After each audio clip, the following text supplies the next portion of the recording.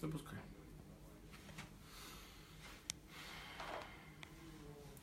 Доброго дня. Сейчас наладили связь. Давайте ее проверим.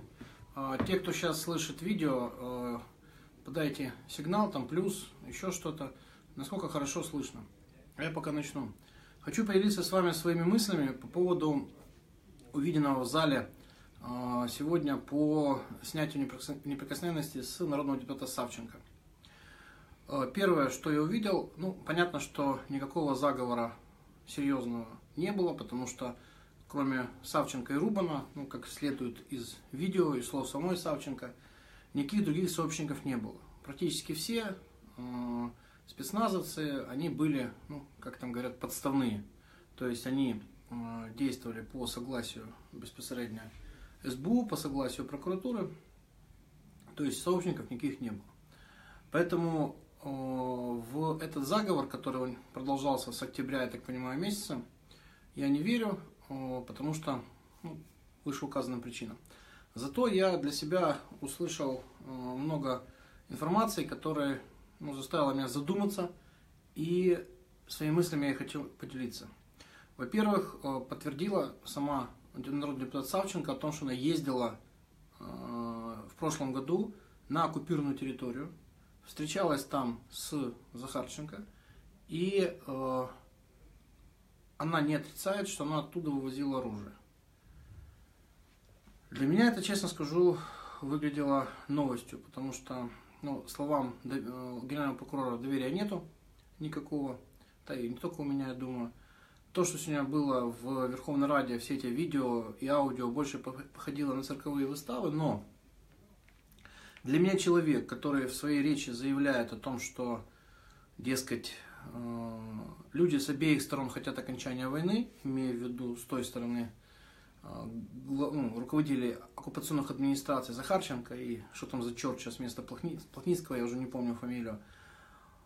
И самое главное, что, ну, давайте так реально, я спрашивал и Просюка Владимира, и своего товарища боевого Анатолия Виногродского, позывной ГАЛ, который сейчас под домашним арестом в Мариуполе. Вы можете себе представить себя на территории подконтрольной, так званой ДНР, неважно, везущим оружие, куда-то заезжающим, просто перемещающимся? Я думаю, что нет. Э, для меня вот эти гасла на 80% правильные о том, что власть совершает преступления, о том, что коррупция убивает Украину, о том, что э, идут фейковые звинувачения в адрес ветеранов, о том, что страна катится в прирву, что-то не компенсирует те 20% яда, которые туда впрыснуты. Я сразу хочу сказать, я не считаю, что э, с той стороной надо о чем-то говорить. Они убивали моих товарищей.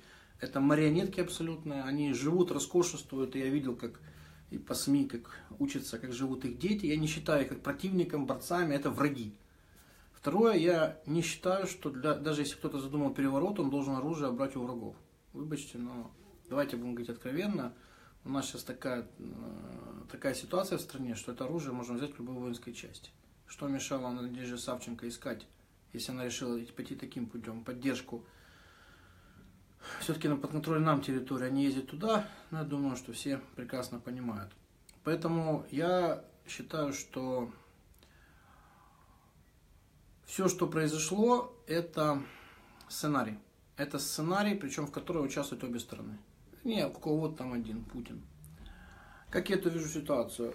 Перед э, выборами в начале года, который начался массовыми протестами, а, в ситуации, когда падает доверие к власти, когда она начинает совершать все больше и больше преступлений, ну, вспомните разгон под Верховной Радой палаточного городка, вспомните избиение до этого людей под, на суде у Труханова, вспомните сегодняшние там попытки нарушать закон при э, прохождении Верховной Рады того же депутата Поросюка, когда его одного из всех попытались именно вот Э, эту процедуру превратить непонятно во что, в прохождение. Э, и на этом фоне власть начинает думать, не, давайте назвать по фамилиям, Порошенко, Аваков, Луценко, начинают думать, а что с нами будет. Что с ними будет, если даже на выборах победит другой олигархический клан, не они? Что будет, если они сейчас и дальше будут ляпаться скандалы? Я считаю, что план организовать вот такой, знаете, как поджог Рестага, э, который был в 30-е годы прошлого века в Германии, а потом под шумок, под это дело пристегивают все протесты. Люди вышли а, против Свавиля, их избили, а всем людям сказали, что они сообщники Савченко. Люди вышли защитить э, побратима на суд, им сказали, что они сообщники Рубана. То есть я считаю, что под это дело теперь будут пристегивать, пытаться всех патриотов, всех тех, кто реально не скурился, кто реально пытается изменить ситуацию в стране. И в этом я считаю абсолютно отрицательное значение этого дела. Да, действительно, она говорит очень многие вещи, которые многим людям приятно слышать. Но выбачьте, нельзя воевать э, левой рукой против правой. Я считаю, что сегодня на комитете, фактически, то, что я видел, это была схватка ГРУ и ФСБ. И я думаю, что сейчас будет все больше и больше появляться таких ситуаций. И все больше и больше начнется привязывание под это дело реальных оппозиционеров. А Луценко сегодня, в принципе, этого и не скрывал. Он заявил о том, что и другие люди есть, которые раскачивают ситуацию в стране, и люди, которые хают народных депутатов, и люди, которые говорят, что президент ворует, ну так это так и происходит. Но тем не менее, это у него уже часть одной, как он называет, антиукраинской цепи.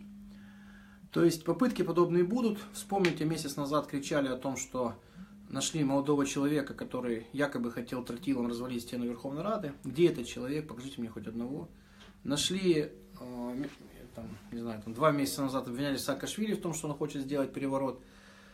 Э, в конце прошлого года кричали, что я хочу там расстрелять Верховную Раду. Ну, это шкиряк полоумный по телевизору. Вы знаете, я абсолютно уверен, что если бы э, хлопцы в платочном городке защищались бы во время атаки э, Беркута, во время, когда их избивали, когда 2000 человек нагнали против 100, когда мы видели все на фотографиях бусики со спецназом, если бы пролилась кровь, если бы хлопцы защищались, то вот сейчас бы всех пристегнули бы к этому так званому заговору Савченко-Рубана. Вывод.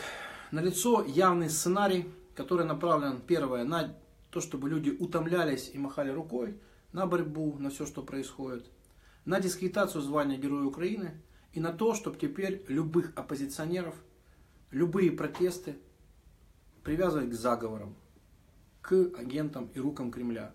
Они же прекрасно понимают, не дурные, что рассказывать годами про штунов, показывать какие-то Э, склады с оружием, которые потом оказываются реплики из интернет-магазинов, показывать какие-то, я не знаю, э, рассказывать истории о том, что кто-то там тротил где-то завез, шить героям войны э, рейдерство, вооруженное ограбление. Это одно. Нужно людям показать хоть что-то реальное.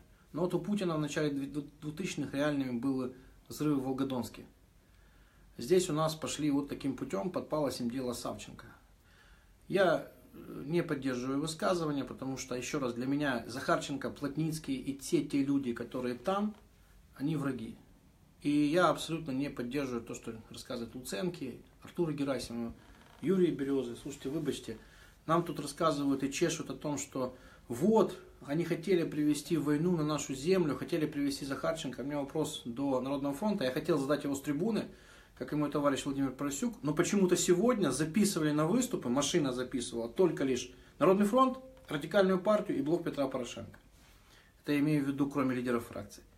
Так вот, вопрос, а когда вы Голубана приводили, который служил в ДНР, служил в Восток и убивал моих побратимов? Ты там про Пески спрашиваешь? Когда вы Голубана приводили в Верховную Раду год назад на блокаде, это вам было нормально?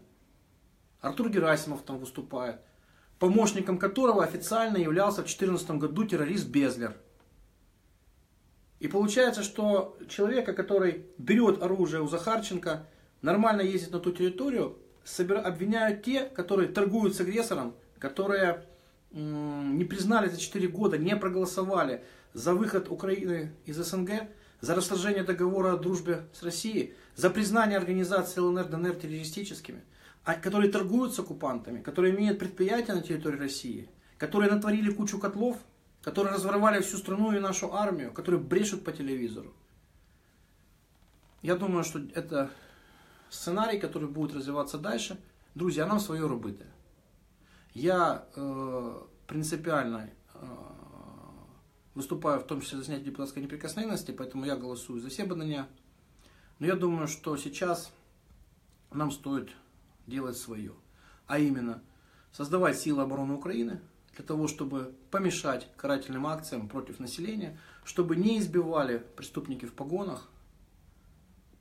Я не говорю, что вся полиция преступники, я уверен, что большинство там люди, не желающие принимать участие в карательных акциях, но Беркут, бывший, который торгует оружием, который кидает как на Боровском проспекте гранаты в машины, избивает ветеранов, грабит палатки, это преступники в погонах, чтобы не дать избивать людей, чтобы готовиться к тому, что если все-таки Порошенко не удастся даже путем провокации остаться у власти, если Путин полезет дальше, чтобы мы имели организацию, которая может помочь армии, потому что все эти герои так званые, я имею в виду, кто сегодня выступали в Верховной Раде, они разбегутся, как в 2014 году, на жаль.